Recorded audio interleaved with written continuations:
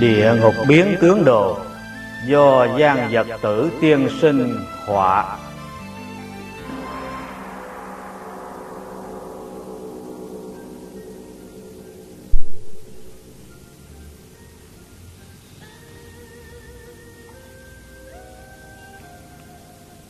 Nền văn hóa Trung Hoa rộng lớn tinh vi, sâu sắc, liên miên kéo dài cho đến nay đã có 5.000 năm lịch sử. Mà sự sáng tạo, nghệ thuật của Trung Hoa đã biểu hiện, tượng trưng cho một thứ tinh thần của nền văn hóa đặc sắc. Mấy ngàn năm nay, chẳng những tổ tổ tương truyền, sự phát huy ấy thì càng thấm thía cùng tột. Nói đến nghệ thuật tranh vẽ, thư pháp, đồ gốm, hí kịch, văn học, vân vân hầu như mỗi đời đều có người truyền thừa. Sáng chói phồn tịnh, phản ảnh lẫn nhau, nền văn hóa trung hoa trở thành riêng biệt, phong cách độc đáo, đặc thù. Mà bức tranh, địa ngục, biến tướng đồ này đúng đã dung hợp với sự kết tinh của nghệ thuật và văn hóa. Tác giả dùng hết nghị lực, tuổi tác của ông đã gần cổ hy, trải qua thời gian một năm mới hoàn thành tác phẩm to lớn này có thể nói là trước chưa từng có Toàn bức tranh này hiếm có nhất là bề dài 50 thước. Chỉ riêng về nhân vật thì có hơn ngàn người. Ngoài ra còn có hoa cỏ, chim môn, thú vật, sơn thủy, vân vân. Trên thành tích nghệ thuật đã đi đến chỗ gọi là đỉnh cao tối thượng mà bên trong đã bao gồm nghĩa lý thâm sâu đủ để tiện hóa nhân tâm và đoan chính phong tục là một vị nghệ thuật gia dùng nghệ thuật đối với toàn thể nhân loại là sự giáo hóa tốt nhất. Tiểu sử của tác giả Gia Nhật Tử Thiên Sinh sinh năm 1938 và năm 1964 lần đầu tiên tổ chức triển lãm năm sau với bức tranh Điền đơn phục quốc đồ được Bộ Giáo dục trao thưởng, trao tặng giải thưởng. Tác phẩm này đại biểu cho quốc gia tặng cho Tổng thống Dân quốc Đại Hàn ông Phát Chánh Hy đến thăm viếng. Hiện nay vẫn còn cất giữ ở Viện Bảo tàng Quốc gia Hán Thành. Từ đây vì sao mỗi năm đều được giải thưởng khi ông năm 30 tuổi đã giác ngộ công danh bên ngoài chỉ là hư huyễn không thật cho nên ông ẩn cư vẽ tranh lần đầu tiên lúc chuyển lãm lúc ấy ân sư là lão cư sĩ Lý Minh Nam vì ông chỉ dạy nghệ thuật không nên chỉ là trang sức để thưởng thức. Nghệ thuật nên có đạo khí, có thể di phong chánh tục, tịnh hóa nhân tâm.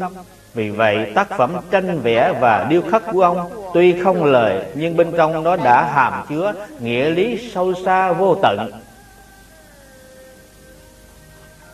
Thời cổ xưa, tác phẩm xuân thu của khổng tử làm cho bọn loạn thần tặc tử khiếp sợ. Ngày nay bức tranh địa ngục biến tướng đồ xuất hiện, cũng hy vọng có thể đánh thức phần tử trí thức và nghệ thuật văn nhân nhân vật chính trị và lương tri của người làm việc giữa đại chúng. Biết được mình đối với thời đại và nhân loại nên gánh vác sứ mạng và trách nhiệm.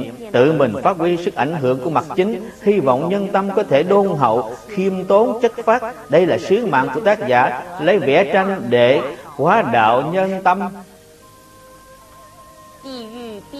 Địa ngục biến tướng đồ đồ điệu đạo lãm. Nhân sanh khổ đoạn, sanh mạng vô thường.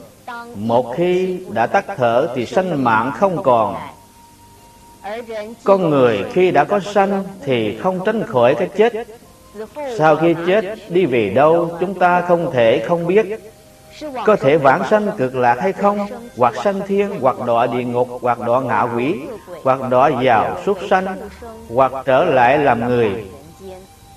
Tất cả đều là mối lo âu, đời này đã tạo những nghiệp quả. Địa ngục biến tướng đồ là giới thiệu cho mọi người biết rõ. Đọa xuống địa ngục phải chuốc lấy những chân tướng của tội báo.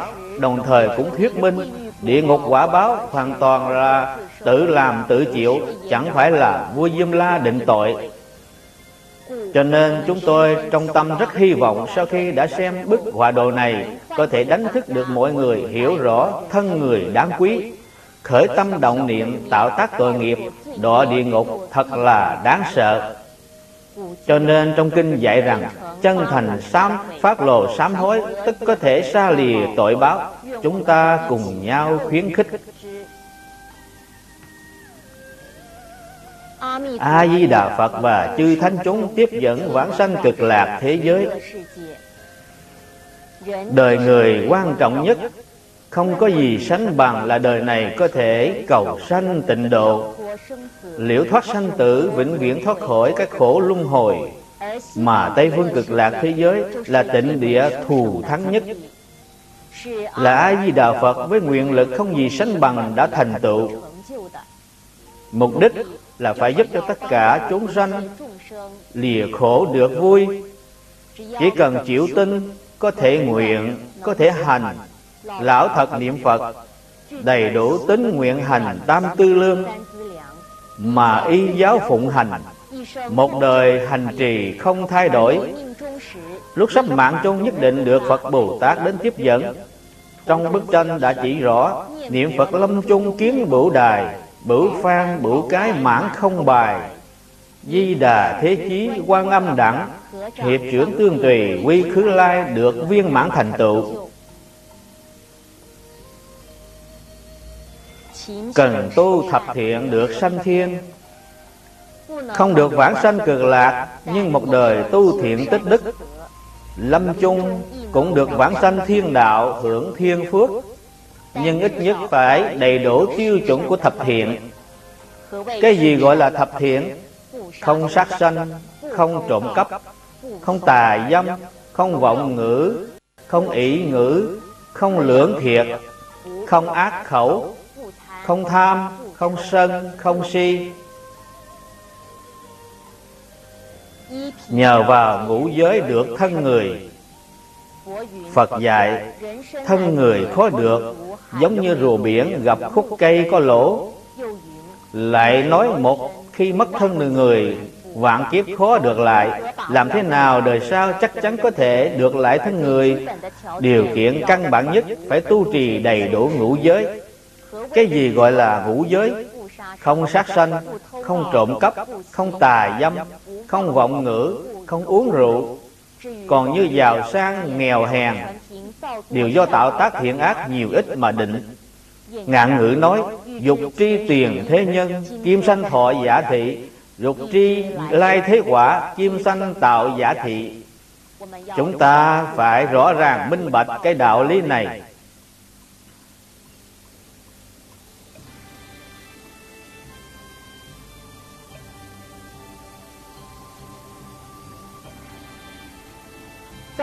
Tạo tác thập ác thì linh hồn quy đến địa phủ. cái gì gọi là thập ác? phản diện của thập thiện tức là thập ác. đời người chỉ có mấy mươi năm. Trong một đời nếu không biết tu học thiện nghiệp không minh bạch nhân quả xử lý không biết tu thiện tích đức thoáng qua vô thường đã đến hồn quy địa phủ hối hận đã trễ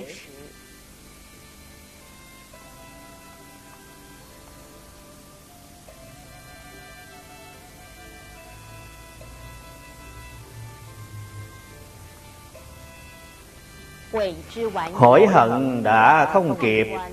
Vô thường phán quan đến thanh toán. Lúc này đại mộng mới tỉnh. Lúc sanh tuyền đã tạo tác đủ thứ. Sau khi chết mỗi thứ đều phải thanh toán.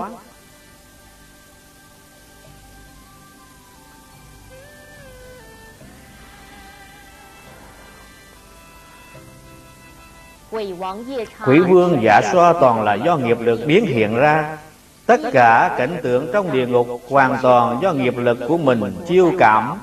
Người không đầy đủ cái nhân địa ngục Thì không cảm thọ cảnh giới âm u kinh sợ Cũng chẳng phải là Diêm La Vương trừng phạt tội nhân tàn khốc.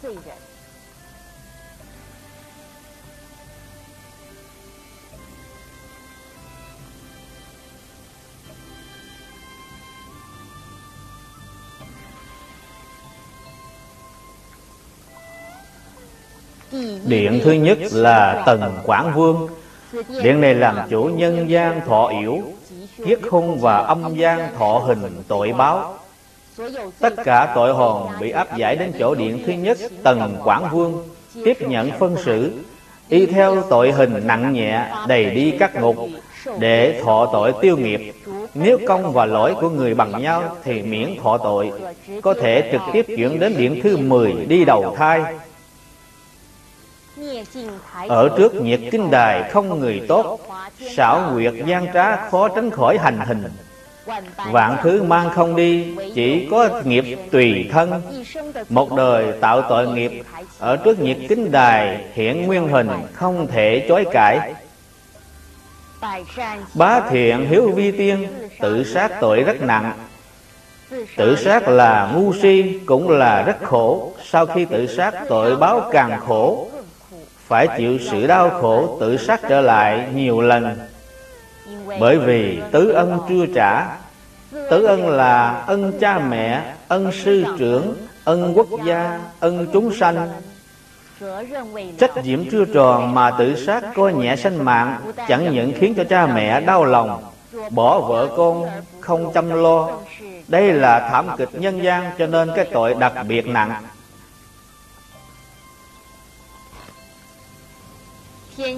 Thiên hạ loạn lạc, hầu như mất đi lương tri, lương năng.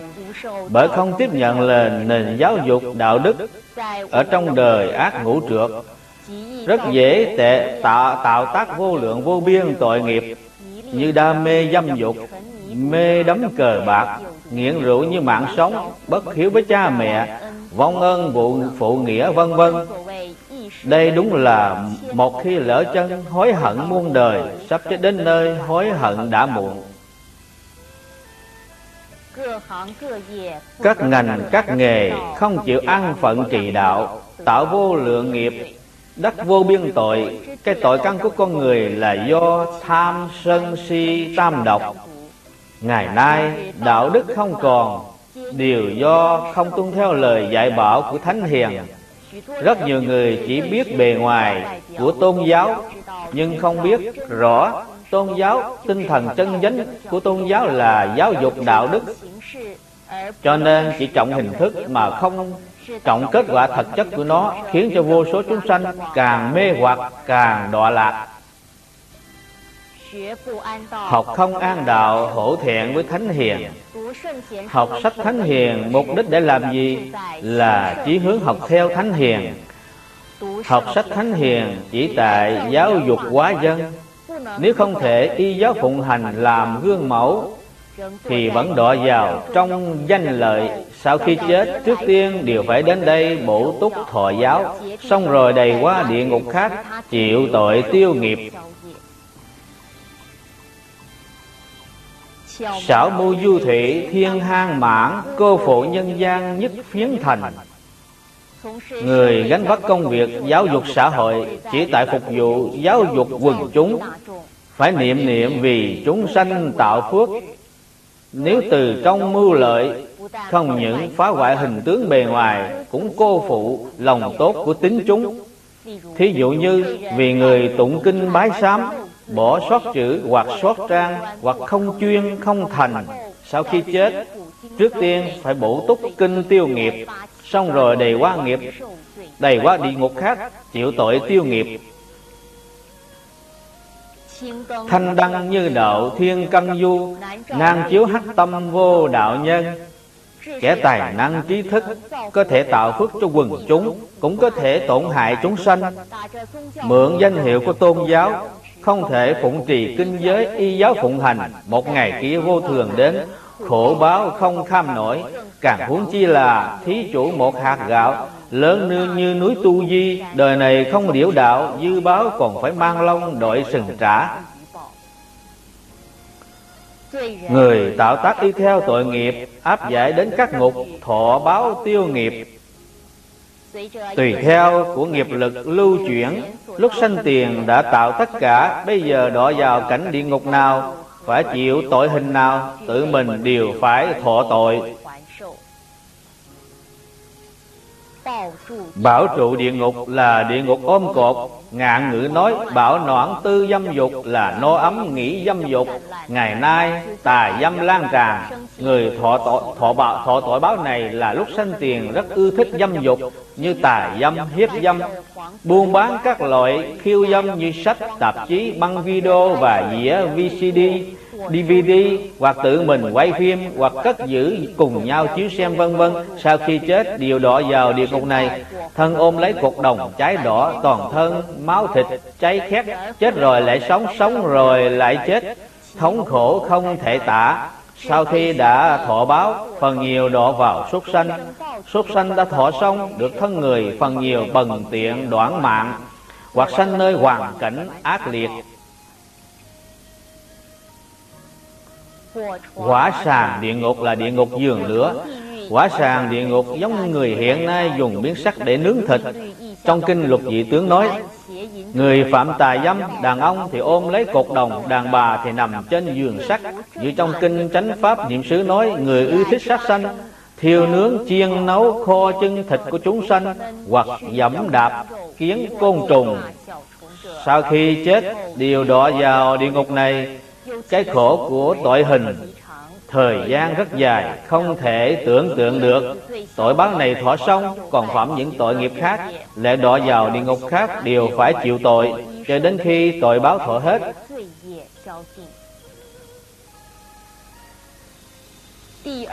Điện thứ hai là Sở Giang Vương.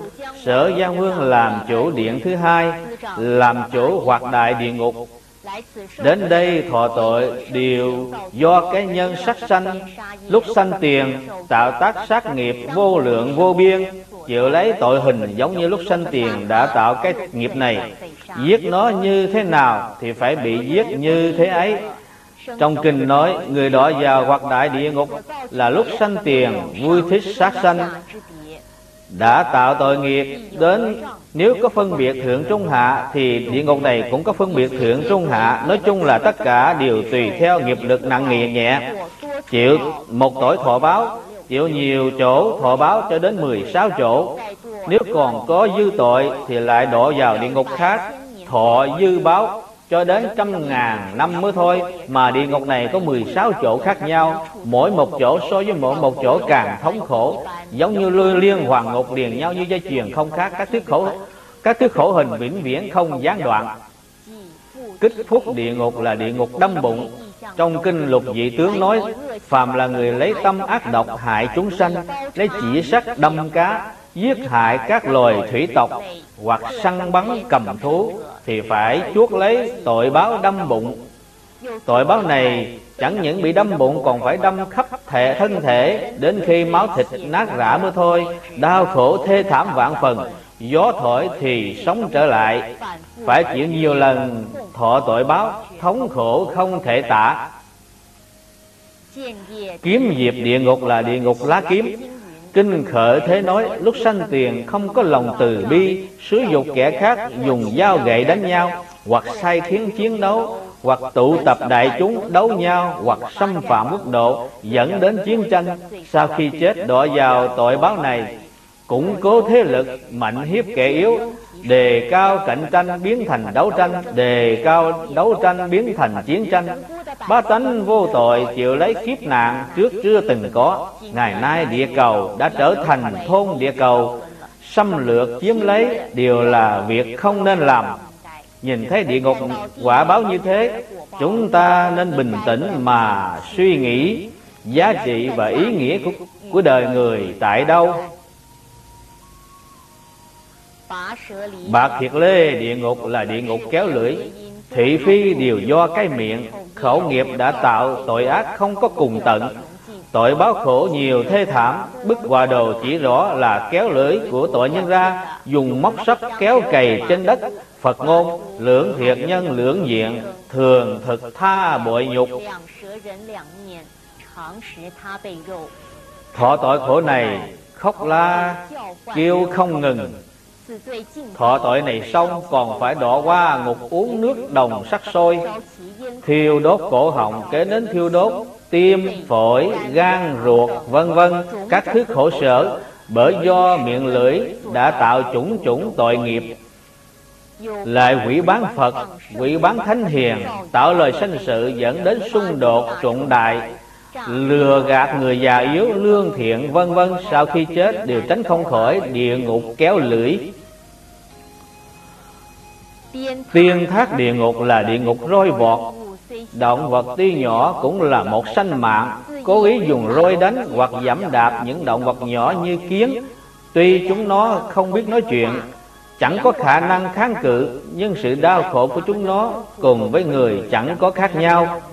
Lúc còn sống, chẳng có tâm từ bi.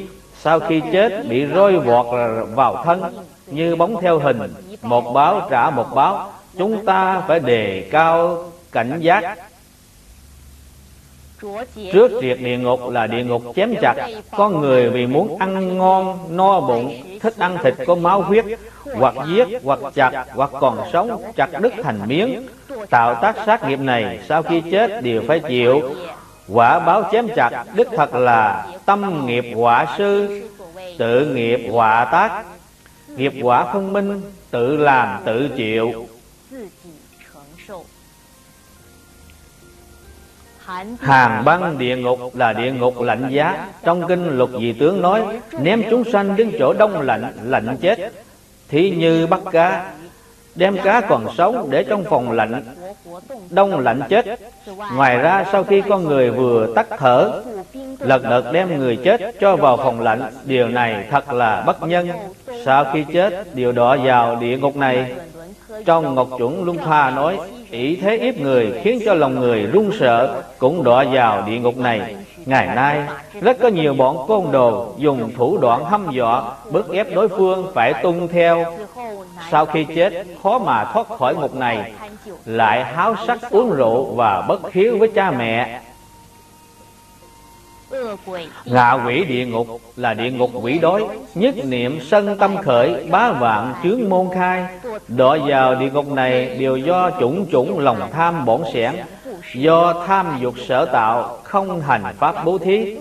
Nhìn thấy các ngạ quỷ chúng sanh Phải chịu khổ, Đói khát, tự thiêu đốt thân, Rất là khổ não, Nước mắt như mưa, Kêu khóc bi thảm, than thở bi ai gian nan thống khổ như trong họa đồ vậy quan âm đại sĩ với lòng từ bi đến thí thực cứu khổ cứu nạn, nếu trong lúc này mà có thể sanh lòng đại sám hối, tức có thể rất mau thoát khỏi ngạ quỷ đạo.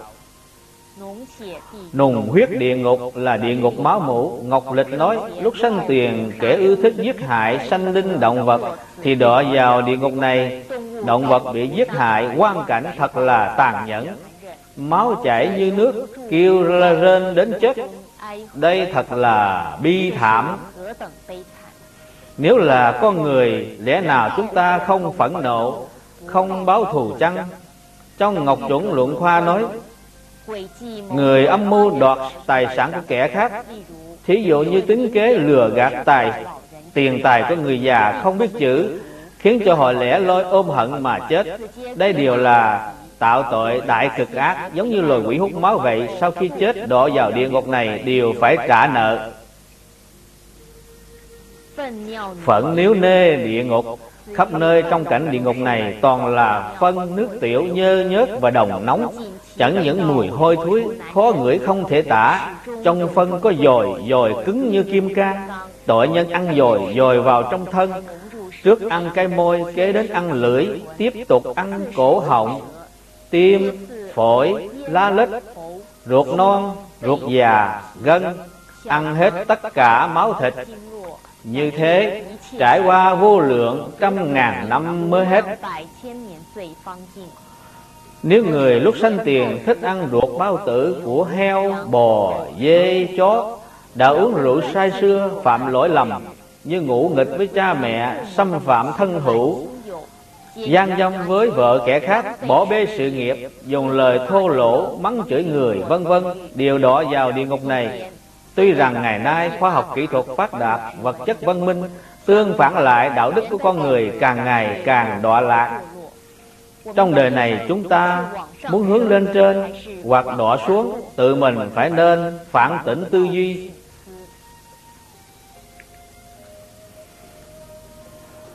Điện thứ ba là Tống Đế Vương.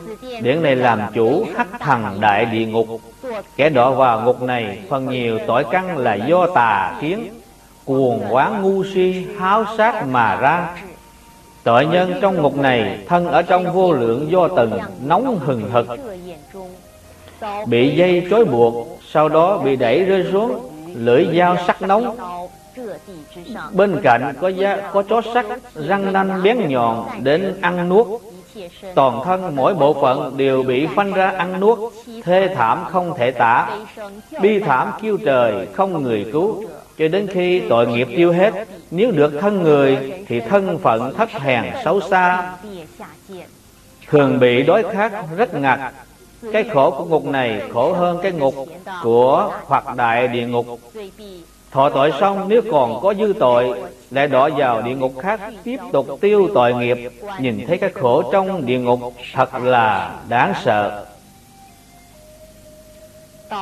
Đảo thung địa ngục là địa ngục đâm giả. Trong kinh lục nói, Lúc sanh tiền lấy ác tâm, Đâm giả giết hại chúng sanh, Sau khi chết đọa vào địa ngục này. Thế như muốn ăn ngon mỹ vị, Đem thịt cá quết giả thành tương, Hoặc vo thành viên tròn. Lại trong kinh sợ khởi nói Thường hay lừa dối lường gạt hại người. Hiện nay có rất nhiều kẻ chuyên môn dối trá Người già, phụ nữ, trẻ con Khiến cho người về già khổ sở Lẻ loi không nơi nương tựa. Sau khi chết khó thoát khỏi cái khổ đâm giả hoặc nhãn địa ngục là địa ngục móc mắt. Quả báo của địa ngục là không bao giờ hết. Rất nhiều tội chẳng phải là đơn nhất. Tạo ác nhiều thì các thứ thọ tội cũng nhiều. Địa ngục móc mắt là một trong các thứ tội hình. Ngọc chuẩn nói, phàm là ngụy tạo văn kiện, đoạt lấy tài sản sự nghiệp của kẻ khác, thì đọa vào địa ngục này. Trong kinh nói, phàm là kẻ tạo tác tất cả tất cả nghiệp bất thiện thì đọa vào hắc thần đại địa ngục. Phần nhiều phải chịu lấy quả báo móc mắt. Đạo điếu địa ngục là địa ngục treo ngược. Trong kinh luật nói lúc sanh tiền lấy tâm ngược đại Bắt chúng sanh lộn ngược vui chơi Hoặc treo ngược chúng sanh Như câu tôm câu cá để thiêu nướng Như nướng heo rừng con Thịt dê, nướng thịt bò, thịt heo, thịt gà, vịt dân dân Đều đọa vào ngục này lại khéo léo làm bẫy để săn bắt chim muôn thú vật treo ngược, hoặc dùng thủ đoạn bắt cóc hiếp dâm đều đọa vào ngục này.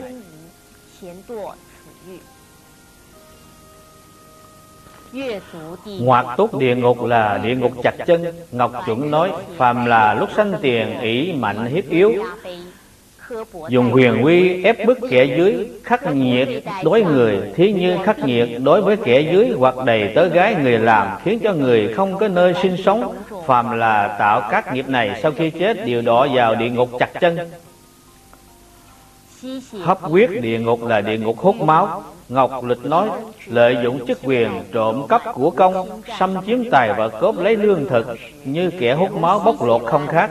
Sau khi chết đọa vào địa ngục hút máu, để cho giới họa hút lấy máu trong thân cho đến khi khô cạn mà chết.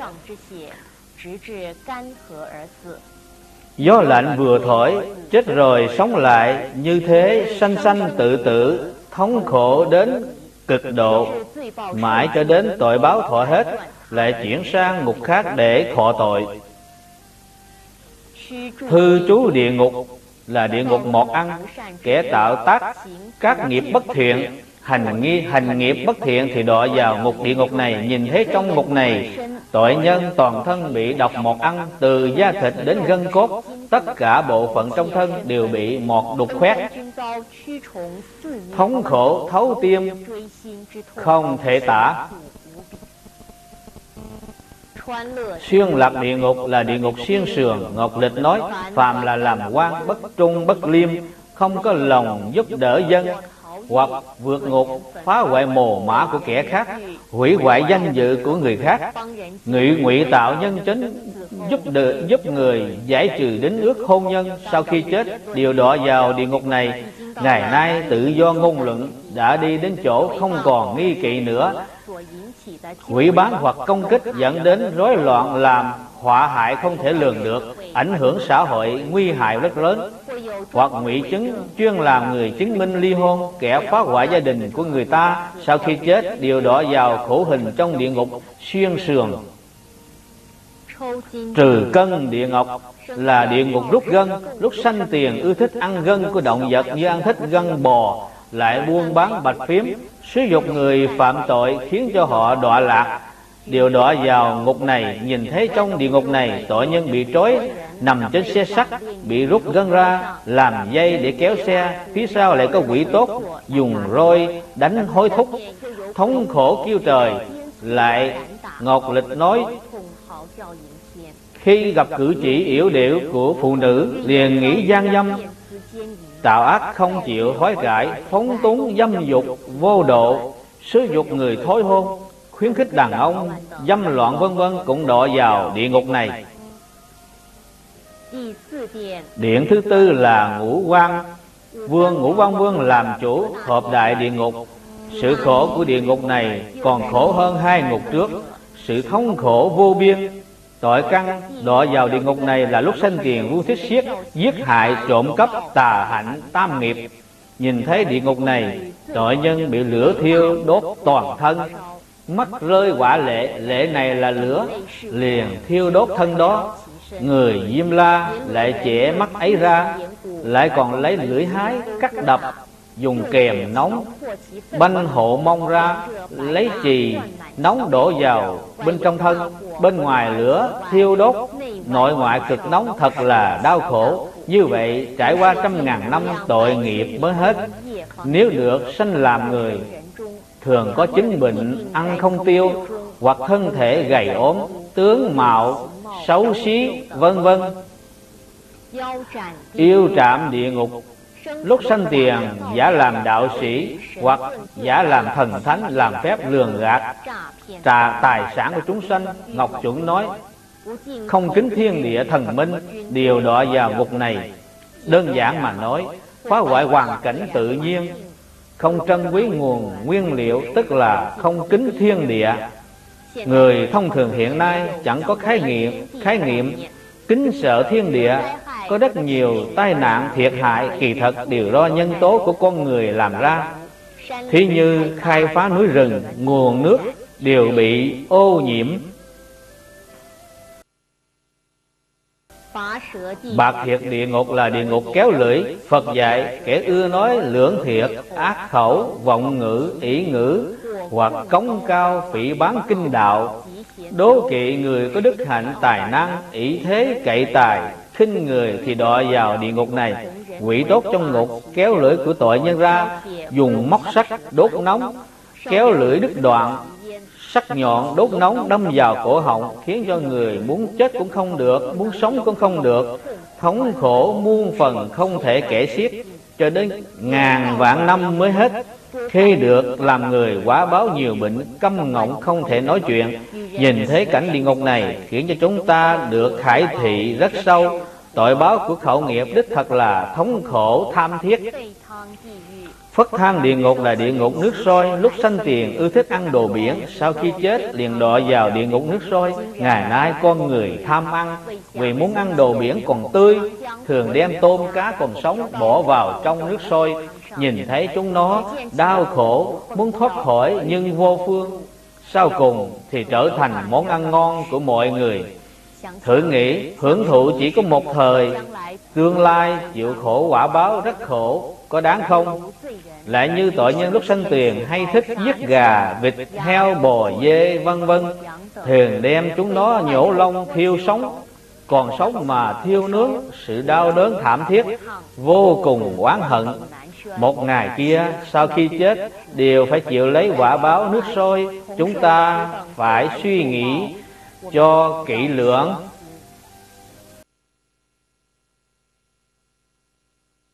Bát bì địa ngục là địa ngục lột da. Kẻ đọ vào địa ngục này lúc sanh tiền đa số làm nghề lột da chúng sanh. Thí như kẻ giết rắn thường hay lột da của nó, Cắt thịt và lấy máu tươi của nó. Hoặc roi vọt ngược đãi chúng sanh, Khiến cho da thịt tan rã. Sau khi chết đọ vào địa ngục này lợi dùng ác tâm hiếp đáp ngược đãi người ta, giống như lột y phục của kẻ khác, khiến cho người ta đau đớn, không kham nổi. Phàm là tạo tác nghiệp này, sau khi chết thì đọa vào địa ngục lột da. Hỏa luân sa băng địa ngục. Địa ngục này còn gọi là địa ngục xe lửa phàm là lúc sanh tiền, chém chặt chúng sanh, lấy tâm sân hận ngược đãi con cái của chồng trước, kẻ tạo tác tam nghiệp, sát đạo tà dâm. Sau khi chết đều đọa vào địa ngục này. Trong gia đình cốt nhục không thể sống chung với nhau là nhân luân bi kịch. Những đứa trẻ vô tội đáng thương, rất là thê lương, đã không có cha mẹ thương yêu, còn lại bị cha mẹ ghẻ ngược đãi càng thêm bi thảm. Nhân tánh vốn thiện, tấm lòng thương người ai ai cũng có đủ. Có duyên thì trở thành người trong một già đều là do nhân duyên túc thế.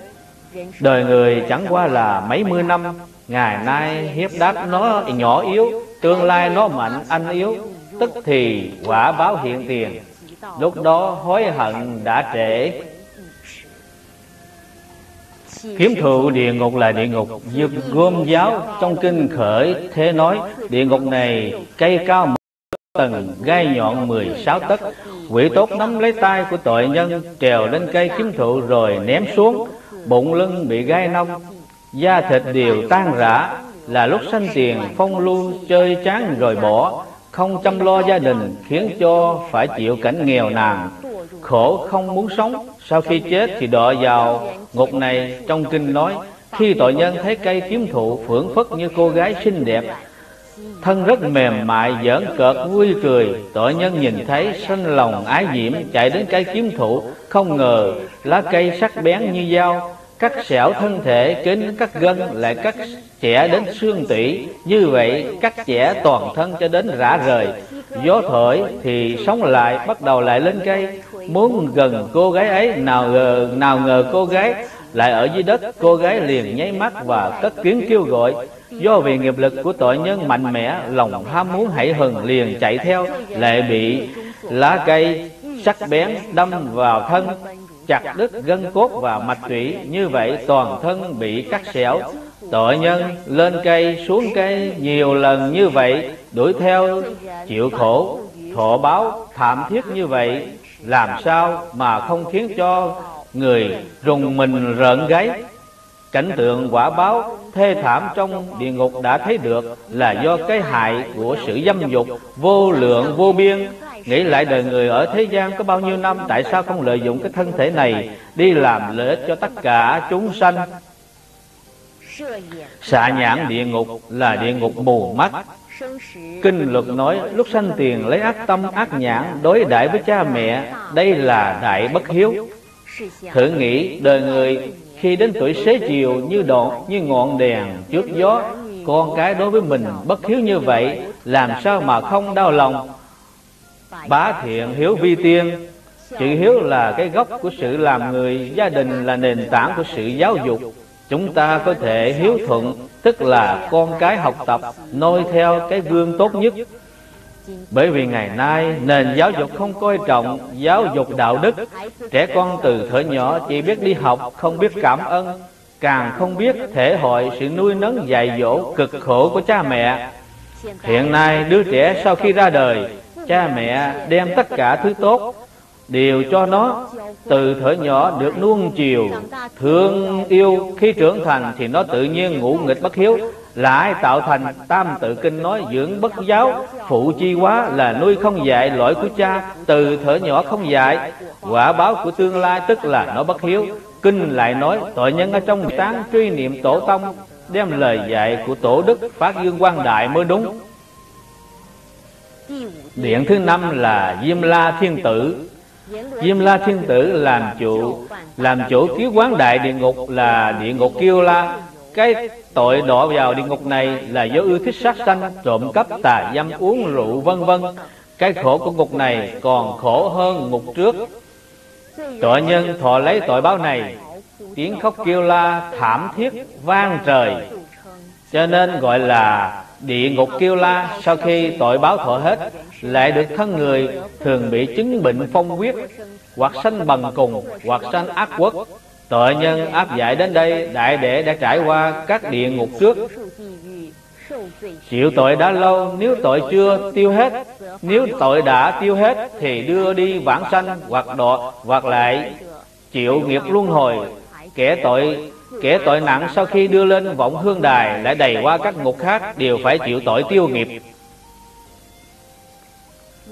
Trên vọng hương đài 800 lý Toàn là kẻ chấp mê chẳng ngộ Bước lên vọng hương đài Quay đầu trong mong thân nhân cách biệt Mắt nhìn xa xôi Từng màn từng màn hiện ra Khiến cho người đau lòng xót xa Thế như nhìn thấy Gia thế thay đổi Đạo phong không còn Hài cốt chưa nguội, Chủ nợ đến bức ép thanh toán nợ nần. Tài sản đã để lại đời sau, Ngược lại khiến cho cho anh em trở mặt thành thù, Giành giật với nhau. Tài sản rất nhiều, Nhà lầu biệt thự phúc chốc đã biến thành mây khói. Hơi thở chưa tắt, Mà vợ sớm đã ra đi Tìm cái vơi, cái vui mới. Con gái của ta thương yêu, Bị người hiếp đáp, Bức ép làm nghề mãi dâm. Nhìn thấy những việc như vậy, Thật là đau lòng. Kẻ đau khổ nhất là lên vọng hương đài. Trừ trường các tâm địa ngục là địa ngục, kéo ruột cắt tim. Ngọc Lịch nói, Vì tranh danh đoạt lợi dùng thủ đoạn phi pháp, gian trá dụ dỗ đại chúng, Lại còn có kẻ vong ơn, phụ nghĩa, mang ơn báo thù. Đây là bọn không có lương tâm, Cũng không có lương tri. Sau khi chết sẽ đọa vào địa ngục này. Lại còn có kẻ xem bề ngoài đàn lộc hoàng trong tâm như là cầm thú, chuyên làm chuyện hiếp dâm.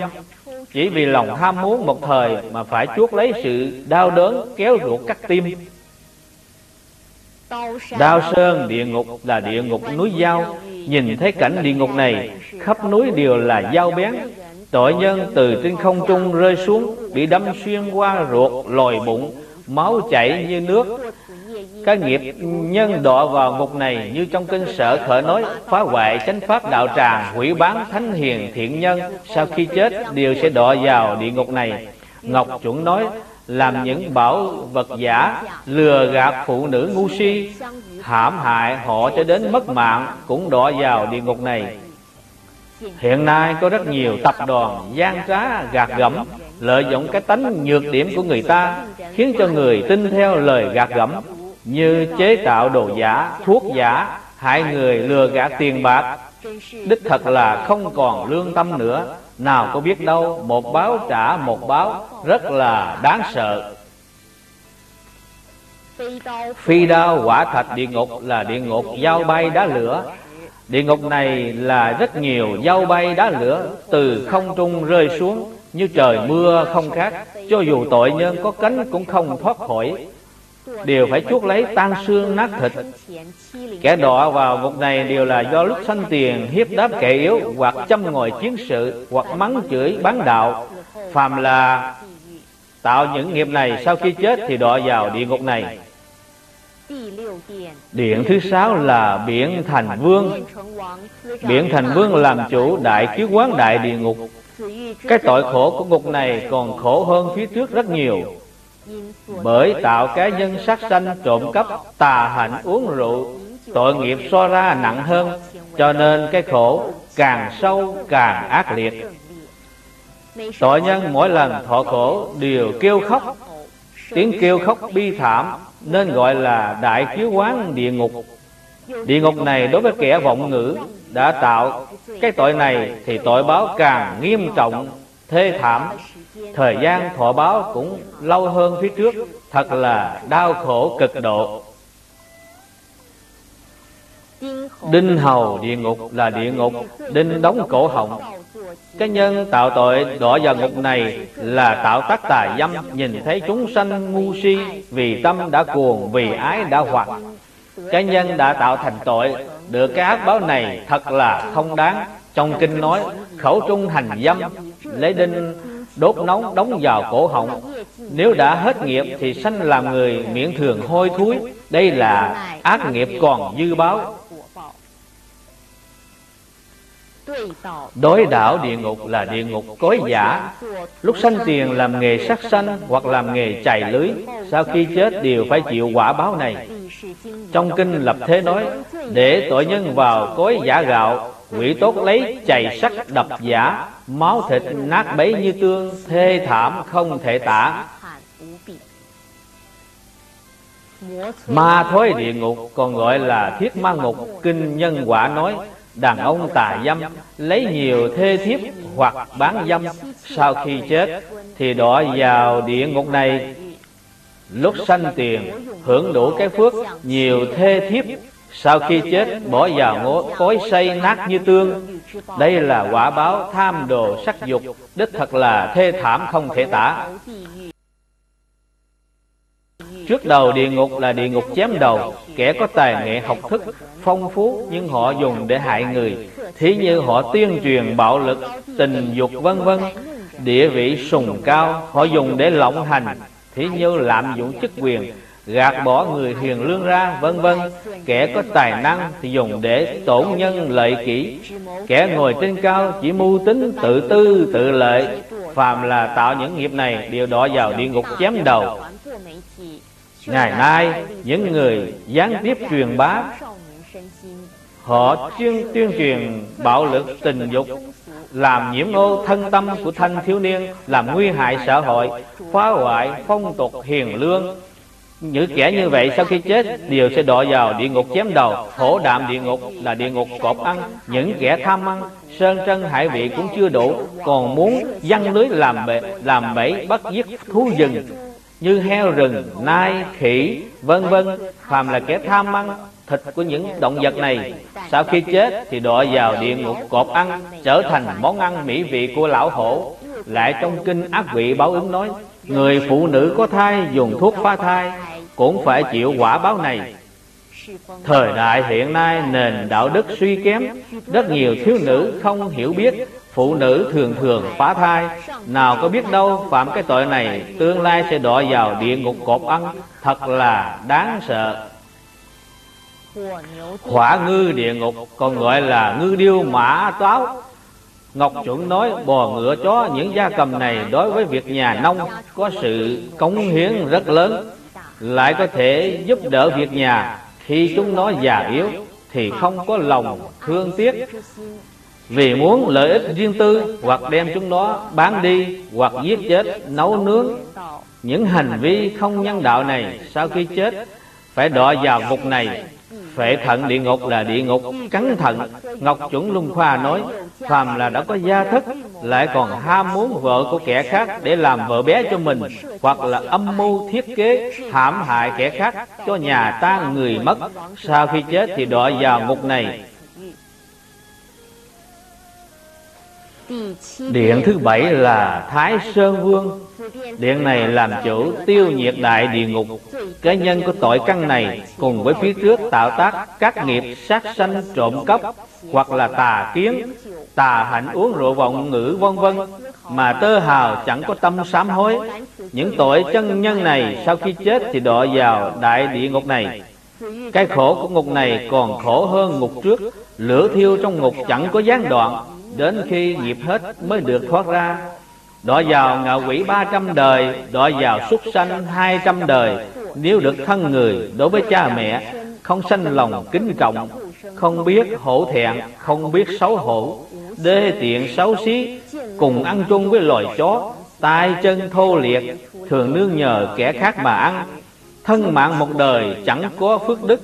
Trong kinh nói cảnh địa ngục này Bốn phía đều là lửa cháy bừng thân của tội nhân bị thiêu cháy hết, sống rồi lại chết chết rồi lại sống. Đau khổ vạn phần. Bạc thiệt xuyên ức địa ngục là địa ngục kéo lưỡi xuyên ngực. Ngọc chuẩn nói, quen dùng ngồi bút xúi dục thư kiện hại người, Trăm phương quỷ kế điên đảo thị phi, Gạt gẫm tiền bạc của kẻ khác, hãm hại người chết, hàm quan sau khi chết Thì đọa vào địa ngục này. Xã hội ngày nay dùng ngồi bút làm sự nghiệp. Điên đảo thị phi sử dụng người thưa kiện Hoặc hăm dọa gạt gẫm tiền bạc của kẻ khác, Thậm chí hãm hại người chết. Hàm quan, Những kẻ tạo nghiệp này sau khi chết đều có ác báo, Tức là quả báo địa ngục kéo lưỡi xuyên ngực. Đỉnh thạch, tôn thân địa ngục.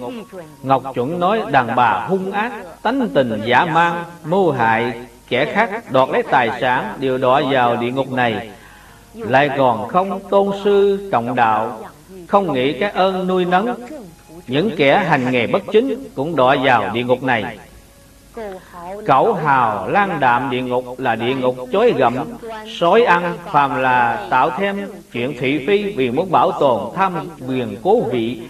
Kẻ bất trung, bất nghĩa, bất nhân Đều đọa vào địa ngục này. Ngạn ngữ nói lan tâm cậu phế Đây là hình dung kẻ hiểm ác chẳng có lương tâm Hạng người này lúc sanh tiền, ăn tiêu phè phỡn một thời, Sau khi chết bị chó gặm sói ăn.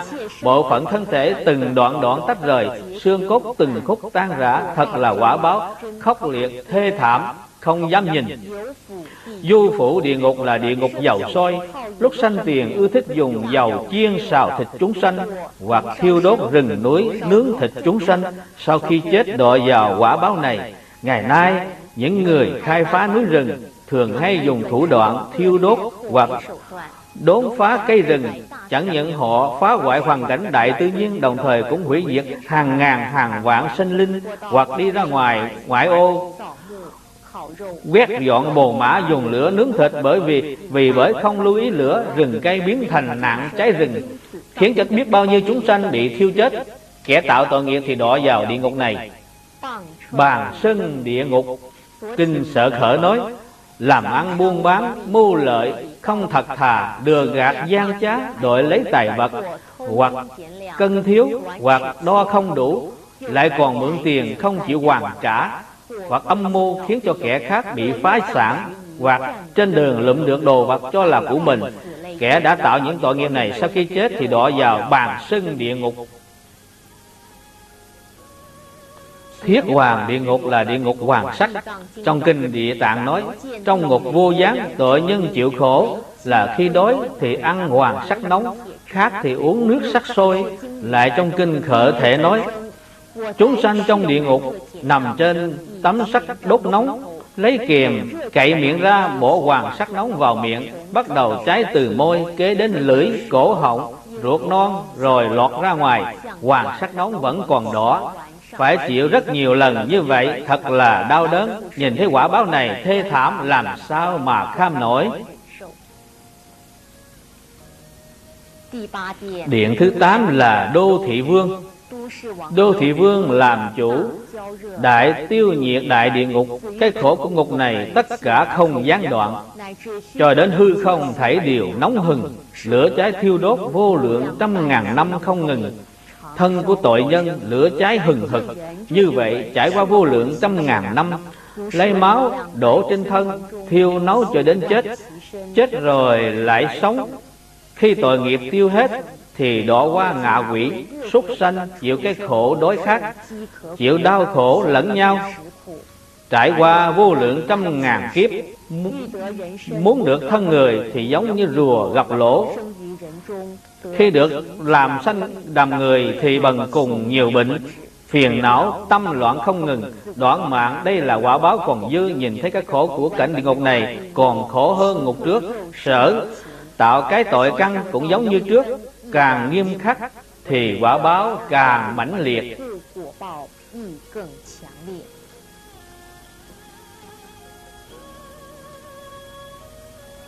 Chá tủy địa ngục là địa ngục đốt tủy Trong kinh khởi thế nói, Tự làm hoặc dạy người dùng lửa thiêu đốt đồng bằng, Hoặc dùng lửa thiêu đốt lồi chuột và ổ kiến, Cho đến dùng điện hoặc nhang mũi giết hại lồi mũi. Điều đọa vào ngục này Rất nhiều người vì phương tiện cắt cỏ, Thường dùng phương pháp lấy lửa đốt cỏ nào có biết đâu, Ở trong cỏ có rất nhiều những động vật nhỏ Ẩn náu dưới đất. Ngọn lửa đã thiêu đốt, Không biết có bao nhiêu sanh mạng. Đồng thời bị ngọn lửa thiêu chết ở trong. Đây là sát nghiệp rất nặng. Không thể không lưu ý, Lại có người quét dọn sạch sẽ hoàn cảnh. Thường dùng thuốc sát trùng Giết hại loài kiến côn trùng. Nào có biết đâu Tội này cũng nặng. Chúng ta có thể cầu nguyện trước ba ngày. Nguyện cầu quan Thế Âm Bồ Tát gia hộ Khiến cho những chúng sanh này không bị giết hại. Trong kinh nhân quả nói, Thầy thuốc người Mông Cổ không thông y thuật vì bệnh nhân chăm chích, khiến cho bệnh nhân bệnh tình càng thêm nặng sau khi chết cũng đọa vào ngục này. Đinh bản địa ngục còn gọi là chỉ thép địa, chỉ thép ngục. Lúc sanh tiền không liêm chính tham ô hối lộ khắc bạc hà hiếp kẻ nghèo nhu nhược khấu trừ lương bổng suối dại thư kiện vân vân. Sau khi chết đọa vào địa ngục đóng ván thọ tội.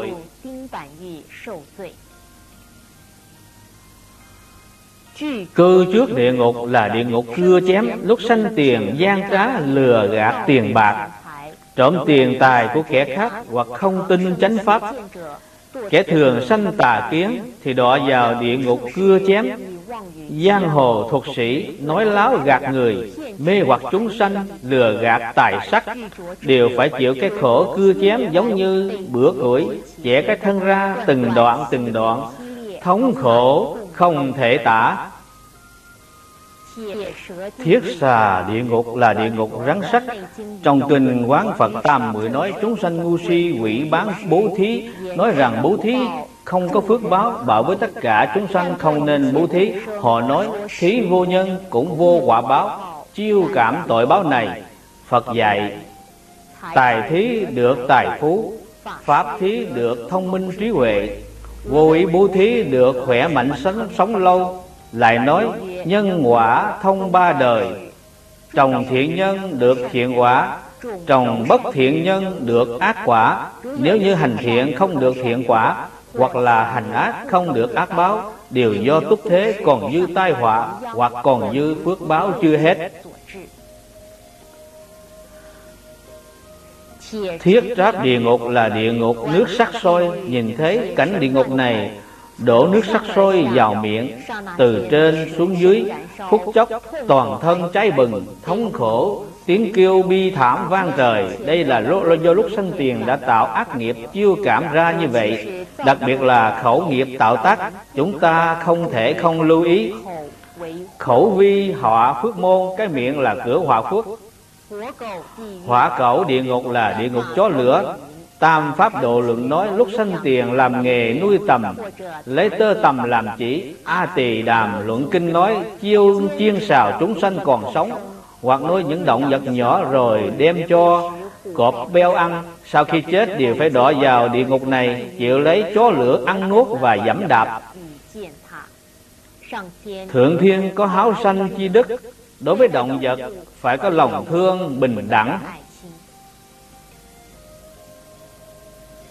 Điện thứ chín là Bình Đẳng Vương Bình Đẳng Vương làm chủ đại làm chủ địa ngục rất lớn nhất gọi là A Tỳ Đại Địa Ngục, còn gọi là Vô Gián Đại Địa Ngục. Cái khổ của thọ tội ngục này càng khổ hơn các ngục trước. Cái tội căn là giết cha, giết mẹ lại nhờ vào tham dục, sân khỏe, ngu si, tạo tác ác nghiệp càng nặng khi đọa vào địa ngục A Tỳ, ngục này rộng lớn, chung quanh nhiều lớp, bốn mặt đều là lửa cháy hừng hực, chẳng có chỗ nào hở trống.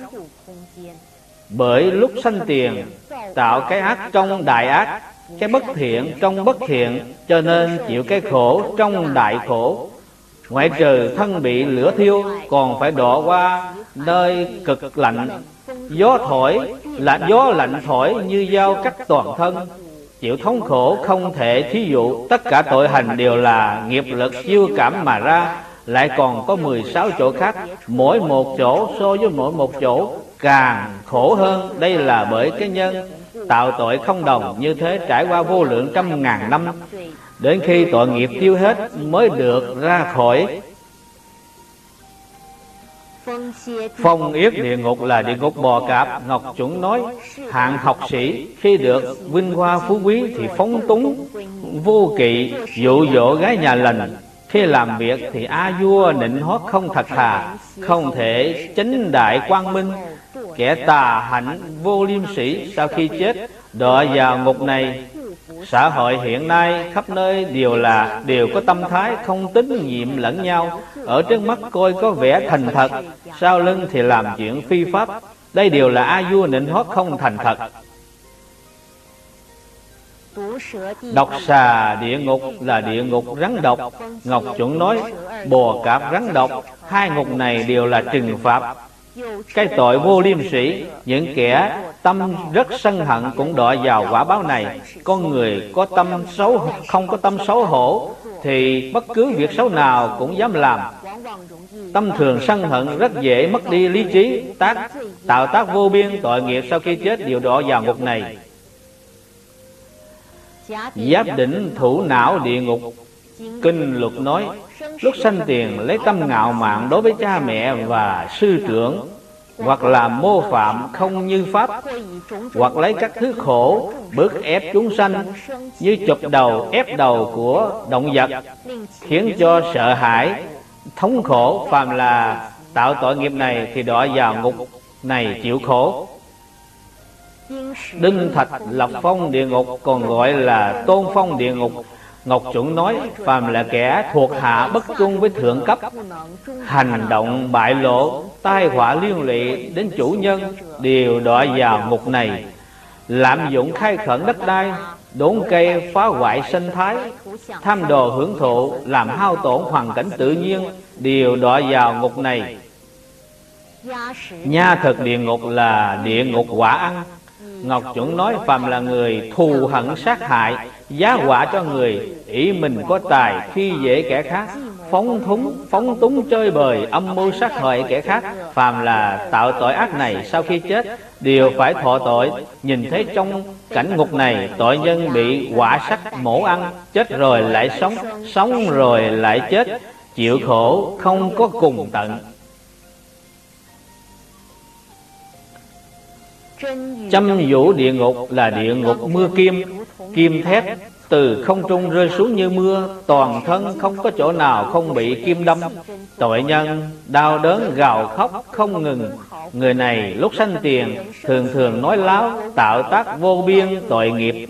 Hoặc kẻ dùng thuốc chích phá thai, Sau khi chết chịu tội báo địa ngục mưa kim. Điện thứ 10 là chuyển luân đại vương. Điện chuyển luân vương là trực tiếp với ngũ trượt thế giới. Chuyên phân xử quỷ hồn từ các điện áp giải đến. Phân biệt tội phước lớn nhỏ đã định Rồi chuyển qua tứ đại bộ. Xem nơi nào thích hợp thì cho đi đầu thai. Tất cả quỷ hồn căn cứ theo thiện ác Và tội phước nhiều ít đi qua cầu vàng cầu bạc cầu ngọc cầu đá cầu ván cầu nại hà đi đầu thai. Sau khi căn cứ theo danh sách được đầu thai đã thông báo cho điện thứ nhất đã đã, đã đăng ký xong tức liền đưa đến phong đô thành còn phải xem tỉ mỉ, thọ mạng dài ngắn hoặc xử lý cẩn mật thay đổi tội phước. Trong bức đồ có người tạo tác thiện nghiệp lúc sanh tiền, nhân nhân thiên kính trọng, sau khi chết cũng được chuyển luân vương tôn kính, đứng dậy đón tiếp. Thiện có thiện báo, tương lai họ được đầu thai, thọ sanh giàu, gia đình tích thiện giàu có. Nói chung là trồng thiện nhân được thiện báo trồng ác nhân được ác báo. Nhân quả báo ứng, tơ hào không sai. Bố thí hành thiện tích công đức. Nhân quả tơ hào không bao giờ sai. Người trong một đời có thể lạc thiện háo thí, tuân theo ngũ luân, hiếu dưỡng cha mẹ, phụng sự sư trưởng từ tâm bất sát, lâm chung nhất định được thiện chung, hoặc sanh thiên, hoặc trở lại làm người cho nên một đời đã tạo tác tội nghiệp, Thì lo âu tiền đồ của đời sau. Đây là tự mình tạo tác, Chẳng phải ông trời an bài, Cũng chẳng phải thần minh tạo ra. Ngư tiều canh độc, Sĩ nông công thương mỗi mỗi đều có nhân duyên phước báo. Phú quý bần tiện đều có nhân duyên. Không cần ái mộ, Cũng không buồn rầu. Sau khi hiểu rõ nhân quả xử lý tự mình có thể tâm khai ý giải, an tụ thủ kỳ đạo. Cái gọi là vốn là phú quý thì được phú quý, vốn là bần tiện thì được bần tiện. Chẳng có một tơ hào quán trách, đây mới là cái đạo tiêu nghiệp. Người nại hà, trên cầu nại hà. Dưới cầu nại hà không liễu sanh. Sau khi ra khỏi địa ngục, bước lên cầu nại hà tùy nghiệp lưu chuyển, hoặc khổ, hoặc vui, hoặc đọa vào súc sanh ngạ quỷ, hoặc được làm người. Tất cả đều là luân hồi vô lượng vô biên thống khổ, vĩnh viễn chẳng có ngày liễu sanh thoát tử. Trì kinh tạo nghiệp, trước tiên áp giải đến Mạnh Đình đăng ký trình diện Ngọc Địch nói Phàm là tội nhân lúc sanh tiền Trì kinh niệm chú. Sau khi chết Vua Diêm La khó phán xét tội hình. Cho nên trước tiên áp giải đến Mạnh Bà Đình uống canh vong hồn Tức tốc cho đi đầu thai Khiến cho chết yểu Khiến cho quên hết Kinh chú mới có thể trị tội được. Ngọc Lịch nói Ngọc Hoàng Thiên Tôn phong cho Mạnh Bà làm thần U Minh, Xây dựng khu vong đài. Phàm là kẻ đi đầu thai chuyển thế, Đều phải đến khu vong đài uống tô canh này, Khiến cho quên hết chuyện đời trước Mới cho đi đầu thai.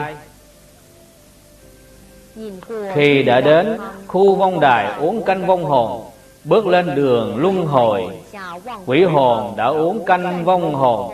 Kẻ hiền sau khi uống đầu thai làm người Rất là thông minh khỏe mạnh. Kẻ sau khi uống thần trí tối tâm.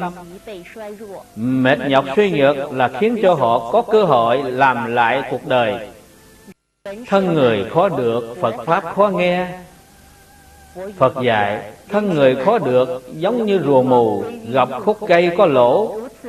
Tức nghĩa là nói được cái thân người rất là khó khăn càng phải trân quý, làm người cho đàng hoàng.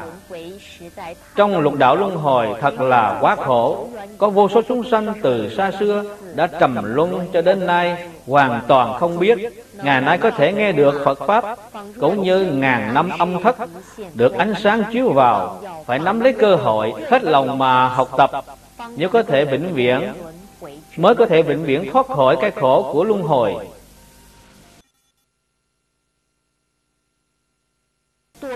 Danh sách đọa lạc toàn là thai nõn tháp quá rất nhiều, Được thân người rất ít. Quỷ vương xem xét danh sách đầu thai, Toàn là súc sanh ngạ quỷ nhiều. Khắp nơi đều là những loại da của chút súc sanh. Kẻ được thân người thật là quá ít. Đủ thấy được thân người thật là quá khó. Quỷ vương vẫy cành liễu, chúng hồn đi đầu thai.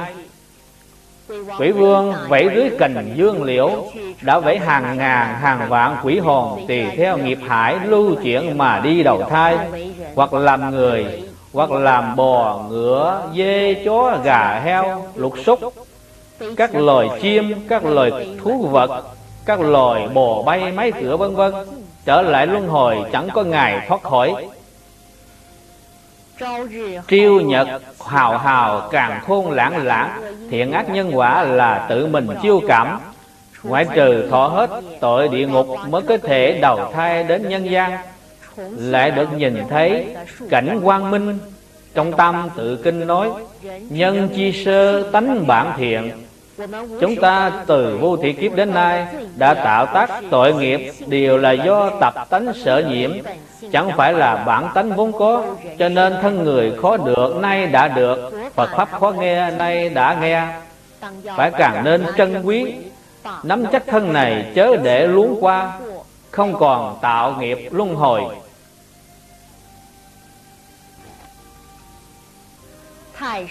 Thái Thượng nói Quả phước vô môn duy nhân tự chiêu Quả báo của thiện ác như bóng theo hình. Sau khi xem xong địa ngục biến tướng đồ, Khiến cho chúng ta trong tâm cảm thọ được. Tạo tác tội nghiệp Thì đọa vào địa ngục thật là đáng sợ. Tuy nói vạn pháp giai không, Nhưng nhân quả bất không. Vậy thì giả như đã tạo tác rất nhiều ác nghiệp, Thì phải làm sao đây? Phật dạy, phải hết lòng sám hối, Vĩnh viễn không tạo nữa, Tức có thể tiêu nghiệp. Hy vọng sau cùng, Chúng ta có thể y theo lời dạy bảo của Phật Đà. Chư ác mạt tác, Chúng thiện phụng hành. Tác giả trong lúc quả bức tranh này Đặc biệt có cảm ứng được chư Phật Bồ Tát gia trì. Đặc biệt nhất là ba lần mộng thế địa tạng Bồ Tát. Khi sắp quả xong bức tranh này, Cũng được cảm ứng địa tạng hải hội, thập điện Diêm Vương, Tất cả cùng nhau xưng tán thắng cảnh. Cho nên đặc biệt, đem ba cảnh mộng này họa ra